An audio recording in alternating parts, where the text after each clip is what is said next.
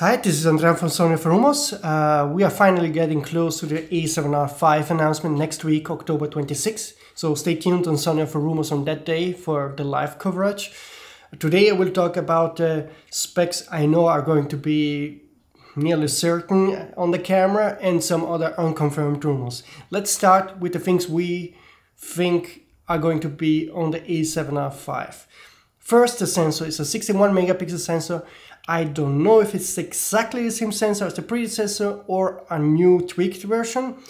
I've been told the image quality has been improved, but I don't know if that's due to the new BIONZ processing engine that is going to be implemented on the A7R5.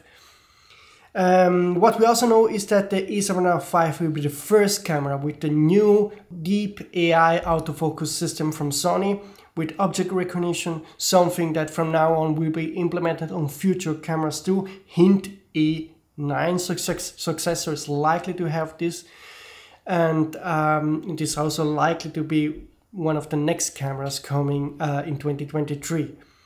Um, what else uh, can we expect on the A7R5? The 8K 24p recording, uh, cropped and uncropped full readout for 4K 60p and 24p. It will also have a similar or same heatsink design as the A7S III, which will allow for 8K recording up to 30 minutes.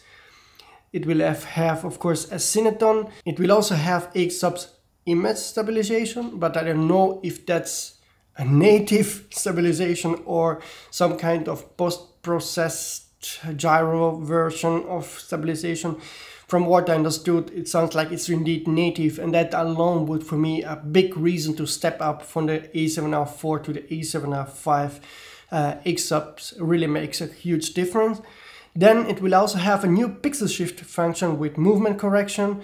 It will also have fully articulating LCD screen, and I've been told the body looks like a mix between the A7S3 and the A7 IV. Now, to the unconfirmed specs I got now. I'm sharing them for the first time in this video. Uh, please take them with a grain of salt. They might be they might be wrong or some might be right. I still don't know. I hope that after this video, trusted sources will send me some kind of feedback to say if they are indeed uh, correct. Um, one source, one news source told me the price should be close to four thousand uh, dollars, exactly three eight nine nine dollars. Um, he also told me that uh, the camera records uh, Super 35 4K, 4K crop from 6.2 oversampling. It also has S-Log 3 60-bit RAW uh, and uh, full HDMI port. And another sources also confirmed that the A7R5 has 61 megapixel sensor with a new BIONZ processor and he says the BIONZ processor makes a difference in image quality. Uh, I got nothing else in this. As soon as I have more info, I will share it. What I didn't get in the, the past weeks is any info about new lenses. So I guess it means next week we are only getting this camera and no new uh, lens, but let's hope I'm wrong.